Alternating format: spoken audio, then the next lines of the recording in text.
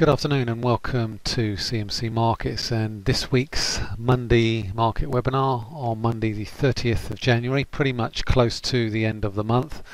So I'll be looking at the performance of the key markets on a monthly chart to give an indication as to whether or not we could well be um, looking at a potential topping pattern. Certainly I think in the context of where we've been over the past month, we've hit record highs on US markets. We've hit record highs on the FTSE 100, um, but we are starting to give back some of those gains, and I think that does beg the question as to whether or not this particular rebound and the rebounds that we've seen over the course of the past couple of weeks, or the record highs that we've seen over the past couple of weeks, is sustainable. Certainly, we're seeing a little bit of weakness today.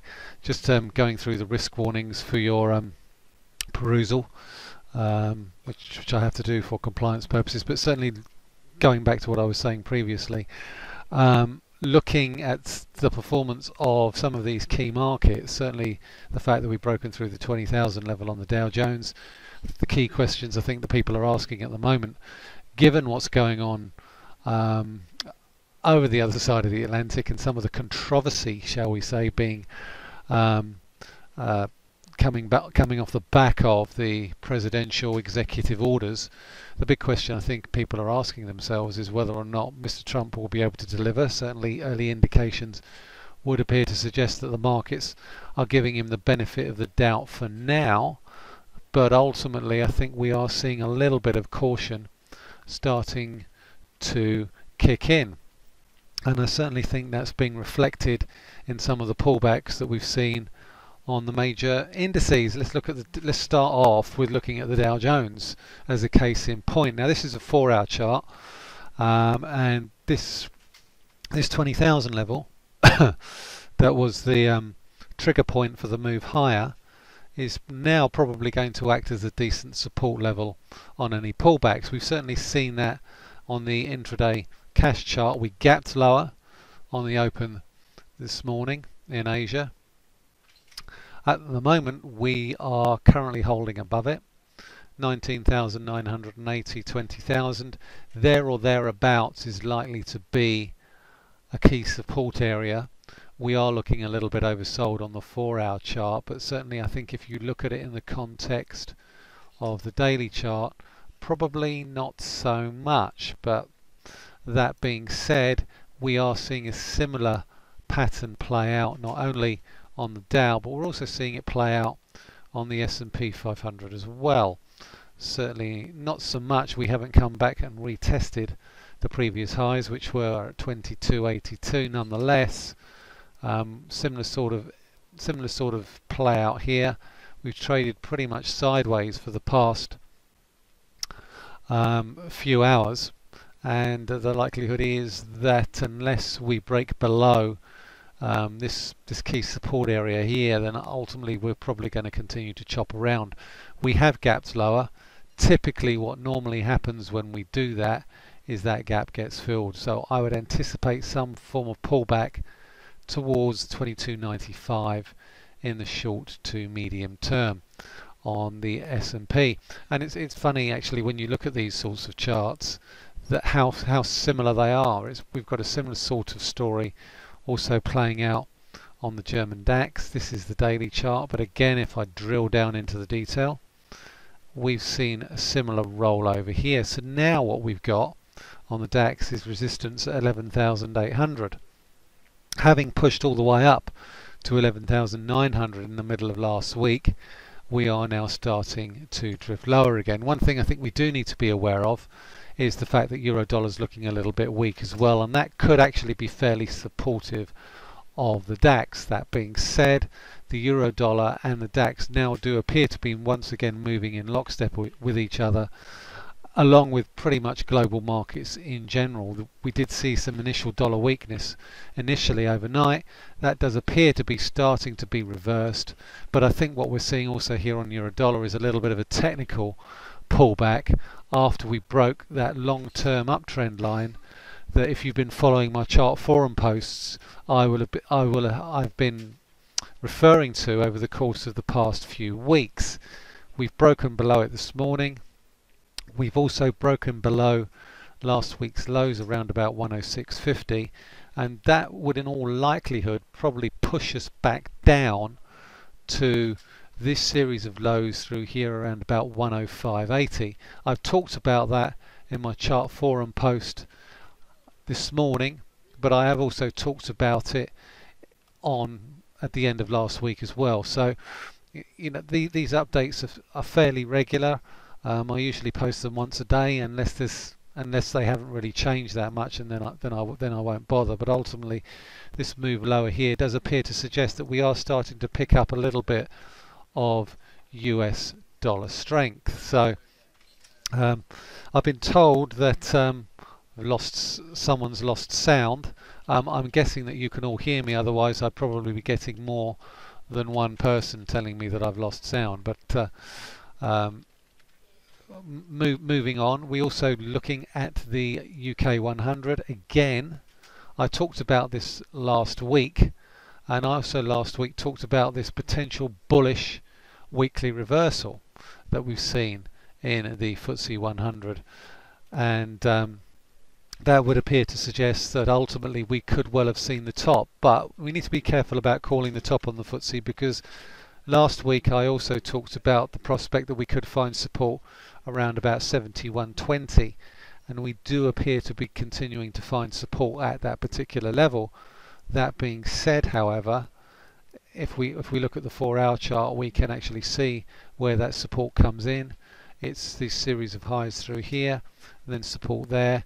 We are finding a little bit of support through here, so we do need to be a little bit careful about trying to sell into a sell into a sell off because ultimately we could actually get caught on a short squeeze back to 7,200. So I'm being told that the the sound the sound is pretty much okay, and that would appear to suggest that ultimately there's there's a problem with audio. Maybe it's your speakers, loose wire, or somewhere like that. Um, just going to quickly check check your speakers and your audio sound if you can't hear sound. So I'm just going to break away slightly sound as audio okay elsewhere multitasking is not one of my um, strong points. Okay so we're looking we're looking at the looking at the UK 100 and for me I think the key level on this is really I think you've got to look at 7,000 7,100 as a key level on that 71.15 71.20 simply because it was such a key level on the way up. It was the previous all-time highs and ultimately what normally happens is those those tend to reverse their roles. But certainly in the context of what we've seen on the weeklies if I actually change this to a monthly chart that is actually even more um, significant because ultimately we've made record highs. There's only one more day of the month left apart from today 31st of January. If this candle is not able to sustain any of the move higher then potentially and this is potentially we've got what I would call a gravestone doji and I think that could be quite significant in the overall scheme of things. So um, please reply to this. There's there's three of you are trying to talk to me. You need to please reply to the chat message that I've just sent out. So re please reply to the message that I've sent to you here. Otherwise I'm not going to be able to see your messages. So that's Warren Clive and Adrian you need to reply to the message that I've just sent out um, if you have any particular problems. Either that or try and contact the help desk and they'll try and um, resolve any audio problems that you might have. Unfortunately, I can't resolve them from here. So I think with respect to the monthly close, I think need to keep a very close eye on the UK 100. Certainly in terms of the weekly, we are we are seeing some evidence that we could be running out of steam and could be due a little bit of correction. So those are the warning signs that I'm seeing on the FTSE. Let's see if we've got similar warning signs on the German DAX on the monthly chart. Drill down. Again, not so much. We've made decent gains here, but we are also very close to all-time highs on the German DAX on a monthly chart. So we do need to be aware that we could be wearing, we could be heading into what I would call nosebleed territory when it comes to stock market valuations. Certainly, I think in the context of US equities, while the longer term outlook may well be fairly positive, I think in terms of what we're seeing on a long term basis, we are we we are struggling at these sorts of levels and certainly I think in terms of the dollar trade everyone's talking a higher dollar for me, I think there is some evidence that, again, if we look at the dollar index, and I'm going to show you a Bloomberg chart here, because I think this illustrates the point quite nicely. Um, we are above a fairly key support area on the dollar index. So ultimately, as far as the dollar is concerned, we are what I would call in decision making territory because ultimately while we're above 100 then I think we could well rebound but certainly if we break below 100 and I think that's really a key level for me um, 100 on the dollar index is likely to a break of 100 on the dollar index is likely to precipitate a quite a significant sell-off. And we can see it probably it's better borne out if I draw that in there. So that comes in round about there. And I think sometimes because we don't have we don't have a dollar index on the CMC platform, sometimes it's nice to look at a proxy. So a good proxy for the dollar index is say for example dollar Swiss or dollar yen. And yes, they only make up a very small part of the dollar index, but certainly if I look at this dollar Swiss chart, there's a decent area of support through here, and this is something that I looked at last week, and it was 99.70. Now throughout the whole of last week, we didn't really break below that 99.70 area. We sort of flirted a little bit below it, but we never really took it out. And at the moment, we're we're seeing a significant rebound off that base. So, you know, while we're above 99.70 on dollar Swiss, then I think we need to be very, very careful about being overly short of dollars because ultimately if we are going to trend lower then we really need to take that 99.70 area out and if we look at the peaks draw a line through the peaks that we've seen thus far since the beginning of January, we are trading lower, have been trading lower for quite some time, but every subsequent rally has been shallower. So if we break out through this series of highs through here, which we look as if we could do, we also need to take out this downtrend line from the peaks that we saw in early January to suggest that potentially we could have seen a top in the dollar. So we are trending lower but trying to preempt a weaker dollar is a fairly dangerous process. So at the moment with respect to the dollar I'm still in buy the dip mode. We can we can sort of see that quite nicely illustrated as well in euro dollar as well because if you actually look at the euro dollar chart we've looked at the support level but if you look at the 108 107 above 107 we've not really been able to take that level out so again dollar weakness if we could get through 107.50 on the euro dollar or these peaks here around 1 107.70 80 then again I think we could see some prolonged dollar weakness. But at the moment that doesn't appear to be particularly likely. Uh, and, uh, and that's a worry for me at the moment. I think yes the long dollar trade is a very crowded trade but everyone's looking to try and look for the break and ultimately I think that's the wrong way to do it.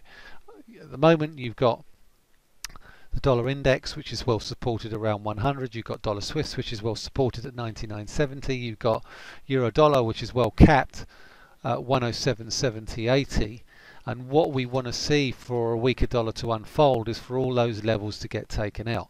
And at, and at the moment that doesn't appear to be that likely. And 57% of the dollar index is euro dollar. You've then got the dollar Swiss on top of that as well. Looking at dollar yen again it's a similar sort of story. We have pushed higher but we are finding a little bit of resistance at 115 50 60 but we've also got a very solid base around about 112.50 so at the moment we're in a bit of a range trade on dollar yen. We do have the Bank of Japan overnight. And the Bank of Japan have been insistent that ultimately they are not they, they will want to anchor their bond buying program around a 0% 10 year JGB which essentially means that ultimately what US yields do is very very important in the context of dollar yen. And ultimately if the Bank of Japan is looking to anchor yields around zero and the gap between US 10-year yields and J JGBs continues to widen then ultimately it's likely that dollar yen is going to find it very very difficult to go lower um, because the gap between 10-year US treasuries and JGBs is likely to get wider. And at the moment it's around about two and a half percent because if we look at what 10 year US treasuries are currently doing and again this is quite useful for when the Bloomberg chart comes in. If we look at a yield chart here we do appear to be building up for a significant move higher. Now if I take that out to a five year chart we can see that we broke this downtrend in five-year yields quite some time ago. And I remember talking about this in a previous video a few weeks ago. Um, we've, we've broken this downtrend in yields. And now what we're looking to do is potentially head back towards around about 2.7 2.8% 3% so ultimately US yields are likely to increase um, over the course of the next few months. Now obviously we we've talked about we've talked about the Bank of Japan. We also have to talk about the Fed. And the Fed um, meets for the very first time this year later this week. Now there's no press conference, we're not expecting any major changes from this Fed meeting. And ultimately a lot of the a lot of the narrative has been fairly hawkish with respect to the potential for further rate rises this year. Ultimately I still think there's an awful lot of uncertainty surrounding what the Fed may do in the first quarter. I do not expect to see the Fed raise rates in the first quarter of this year. There's still an awful lot, there's too much uncertainty around a Trump presidency for the Fed to be able to act with any confidence about the outlook for the US economy. We saw on Friday US GDP came in um, slightly weaker than expected. That wasn't a surprise to me because of the fact that I think the third quarter numbers were artificially boosted by exports, soybean exports in particular. And what was notable was that net trade was a drag on Q4 GDP. Now the reasons for that are likely to were likely to be a strong dollar, and we've already heard from certain U.S. officials or US government officials, Trump um, administrators, they're not comfortable with the cover with with the current value of the dollar. That suggests that they would like a weaker dollar. And I think how does how does Trump react with Janet Yellen? It's no secret that Mr. Trump has been highly critical of the Fed in keeping interest rates artificially low for quite some time and ultimately he's felt that they are behind the curve. But of course the rhetoric his rhetoric is likely to change now, I think, with respect to the Fed, because ultimately he won't want the Fed to do anything that's going to undermine his program of potential uh, a fiscal stimulus. And fiscal stimuluses have a habit of being inflationary. We've certainly seen that reflected in the rebound that we've seen in bond yields over the course of part over the course of the past week. And the key level for me, I think, in terms of the US 10 year is 2.6%. So there's also a slightly different narrative amongst Fed policymakers for this year as well because we have four new voting members on the FOMC and my hunch is they're probably not going to be as hawkish as say for example the Fed committee was last year. So look for comments from Robert Kaplan, Neel Kashkari, and um, Patrick Harker, because those are some those are three of the new voting members of the FOMC. Patrick Harker has already suggested that there's no rush to raise rates anytime soon, which is a slight departure from what he was saying a month ago, when he was slightly more hawkish about the prospects for Fed rate rises. So I think the the narrative is going to be particularly important, and the narrative is going to be more important in the context of what the Bank of England has to say the day after because I think we've I talked about last week about the strength of the dollar and potentially in the context of what we could, what it could do with respect to the pound. And we've seen a decent rally in the value of sterling over the course of the past week or so. We are now starting to give that back. Um, certainly on the, in the context of the daily chart, we've broken lower. Um, and we were heading back towards the 100 day moving average, which is still very, very negative. The 50 day moving average is starting to flatten out um, and has acted as support and resistance over the course of the past few months in equal measure.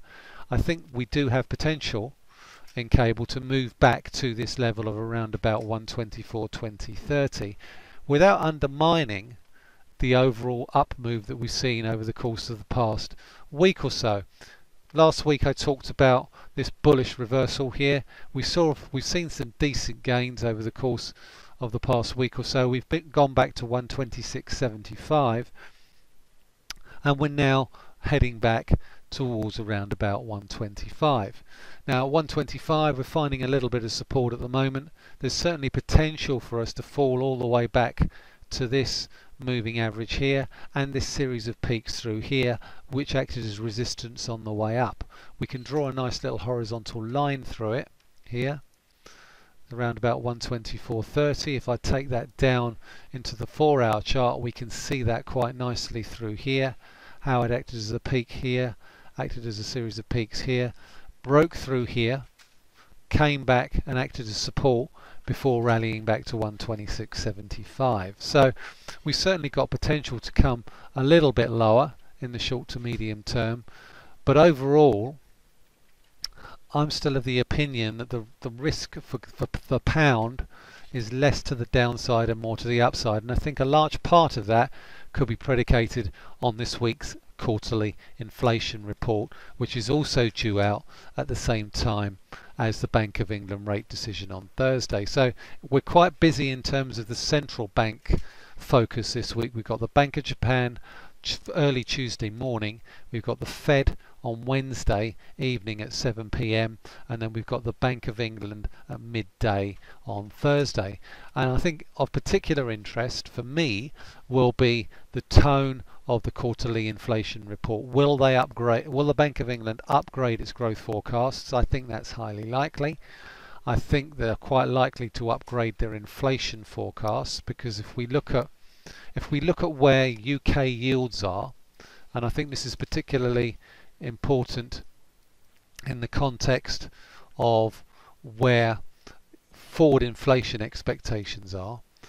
These are forward inflation expectations on a five-year basis for UK inflation. So they're around, they're, they're at significantly elevated levels, 3.65%.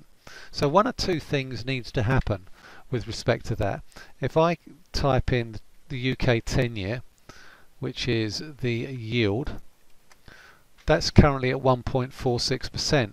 That's a huge gap. It's a huge discrepancy between what 10-year gilt yields are, where 10-year gilt yields are, and where the forward five-year, five-year inflation expectations are. So in that context, I would suggest that there's potential for UK gilt yields to move higher.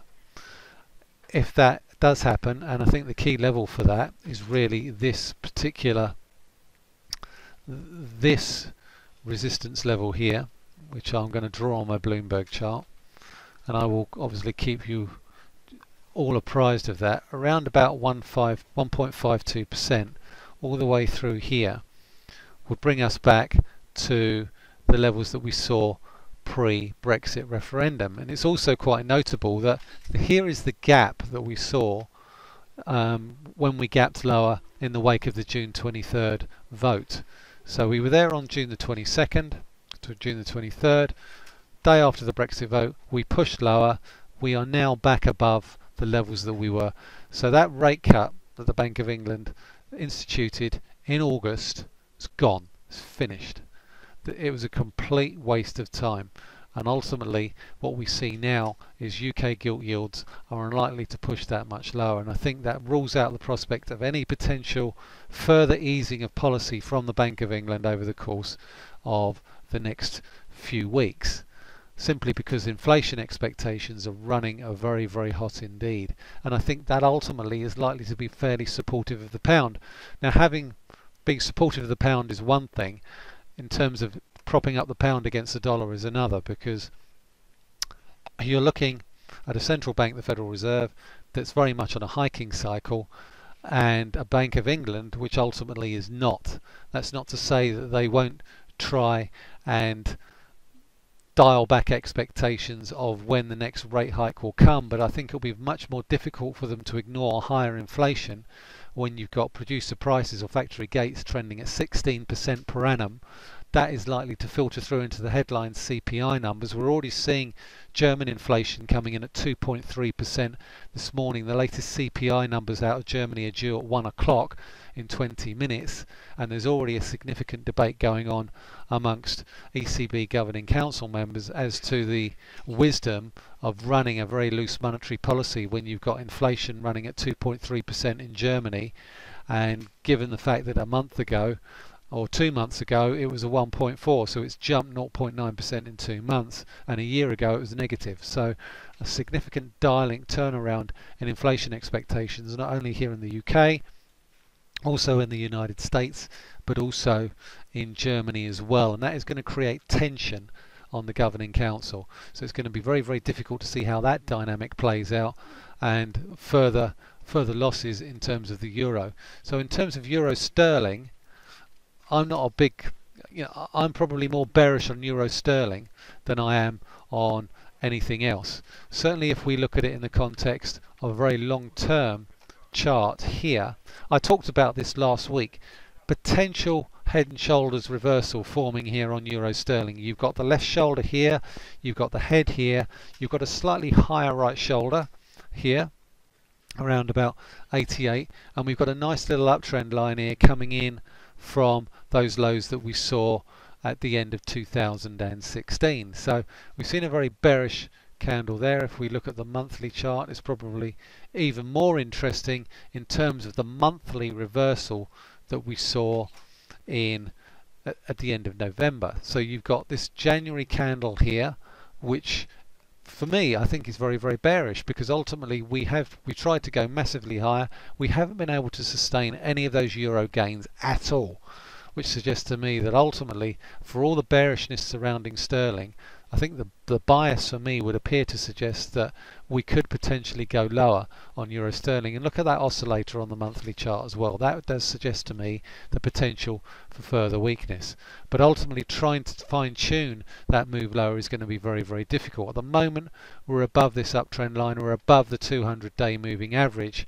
But ultimately, while we're below 85, 70, 80 on euro sterling, I think really you, you, you, you have to sell rallies on euro sterling. This is slightly bullish here, this daily candle. Slight bullish reversal though, which would appear to suggest that maybe we could go higher. But all the other indicators for me, I think, are pointing to a move lower. Decent support around about the lows that we saw last week on the four-hour chart at around at around about these level around about these levels here let me just draw that horizontal line in there.